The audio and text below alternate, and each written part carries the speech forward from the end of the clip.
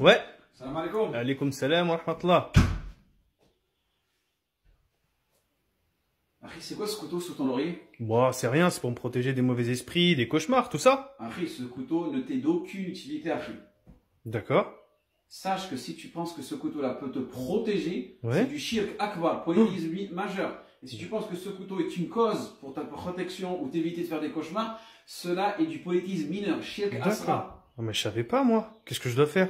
Tout simplement, tu reviens vers la sunna du prophète sallallahu alayhi wa sallam.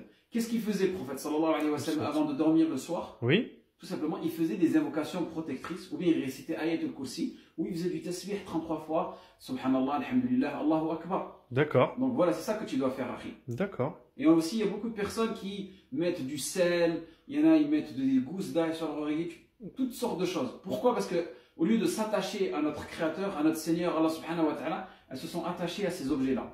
Et ça, peut créer une dépendance à certaines personnes. D'accord. Ok. Donc voilà. Très bien. Fik. Voilà.